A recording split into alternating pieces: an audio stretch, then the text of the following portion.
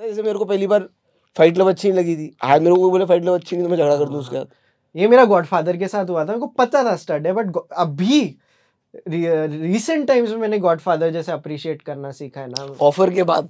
Offer देखा? Offer नहीं देखा मैंने। भाई तो offer if you like Godfather offer is a show now I think अच्छा someone has recommended on the channel yes watch it. It's a- where where is it available I think तब Voot पे था अब जियो पे होगा। हाँ हाँ हाँ।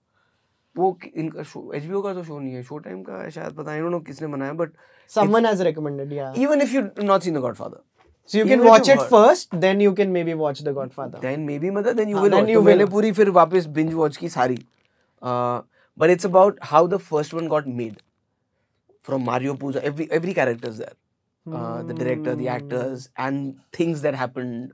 It's brilliant. I uh, till date haven't watched Godfather 3. Should I ever watch it? Like So see, I mean, you you should watch it to finish it. Like मैंने last कौन सी थी? फोर्थ थी उसकी जो जिसमें तीन ही थी तीन ही हाँ, तो मैंने तीन अभी रिसेंटली देखी है फिर। जो सोफिया कपोला वाली जो है हाँ वो मैंने रिसेंटली देखी जिसमें एंड में वो भी मर जाता है। हाँ मतलब मैंने देखी नहीं थी अब क्या इसमें? तो मैं तो मर ही जाता है सभी मर जाते हैं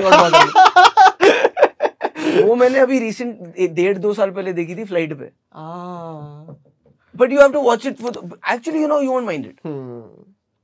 मैंने मैंने एक्चुअली गॉडफादर में ना सेकंड पहले देखी थी आ, फिर मैंने पहली देखी Hmm. अब मैं कहा ये तो इतनी अच्छी नहीं है हाँ. फिर मैंने कुछ पढ़ा उसके बारे में फिर मैंने गॉडफादर फिर से देखी